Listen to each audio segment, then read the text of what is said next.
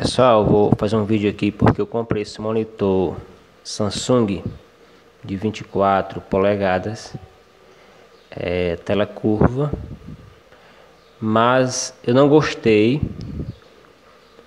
dos seguintes aspectos. É, esse monitor eu achei ele baixo, muito baixo. Para mim, particularmente, eu achei baixo. É, eu tive que colocar esse livro, um livro, e colocar ele acima. E além de baixo, ele é muito inclinado para frente, para frente. Aí eu tive que colocar outro livro aqui, esse caderno aqui, para inclinar ele mais, para levantar mais um pouco ele.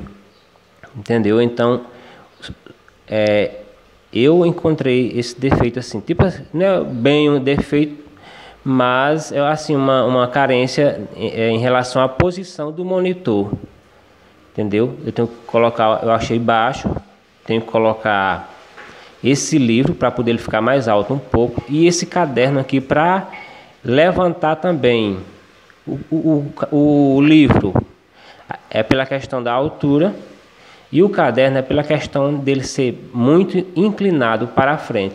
Aí eu tive que colocar esse caderno abaixo para levantar mais um pouco ele, para melhorar a posição, para mim poder trabalhar, entendeu? Mas assim, o tamanho é bom, 24 polegadas, é uma qualidade boa e tal, mas é, tem essa deficiência aqui, tem esse lado negativo aqui, tem esse lado negativo aqui em relação à altura e devido ele ser inclinado para a frente.